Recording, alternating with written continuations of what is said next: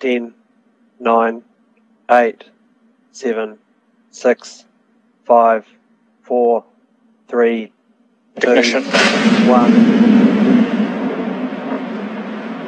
Lift off. Vehicles clear the pad.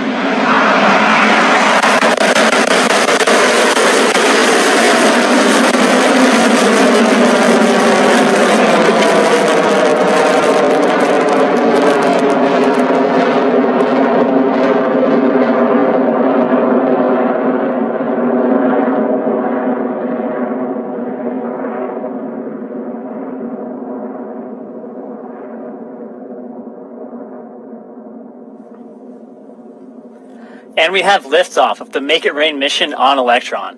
Shortly, the vehicle will come up against max Q or maximum aerodynamic pressure, where the forces against Electron will hit their peak. So let's listen in for that call.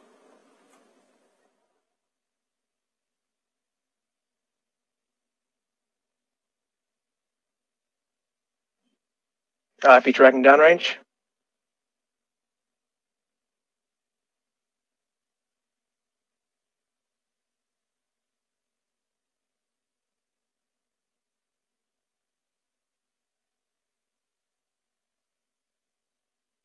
Coming up on maximum dynamic pressure.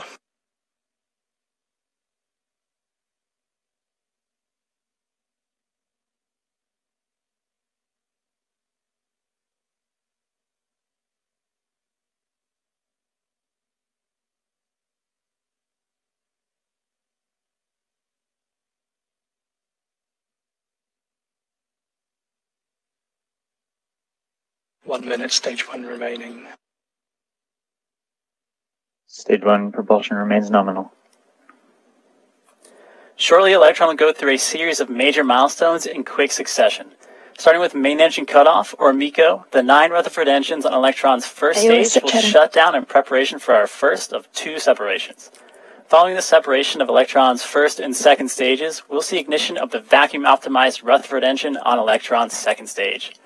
Electron's second stage, carrying the kick stage and its payloads, will then continue onto an elliptical orbit.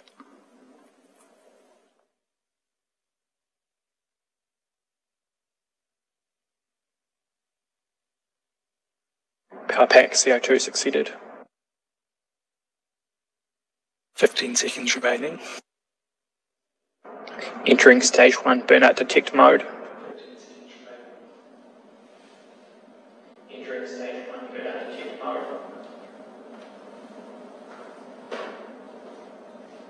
Stage 1 MECO. Stage separation succeeded. Stage 1 MECO. Guidance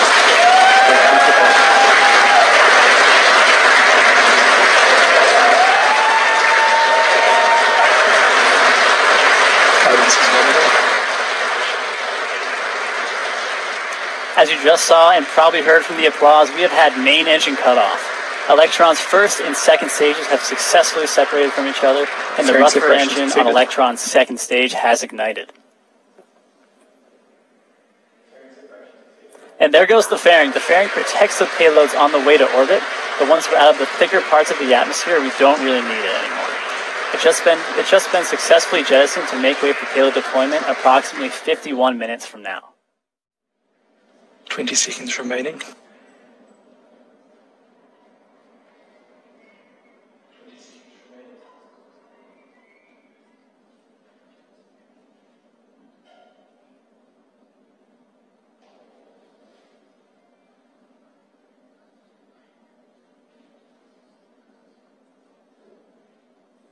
Stage 2 engine cutoff. Transfer orbit is nominal. Interstage separating.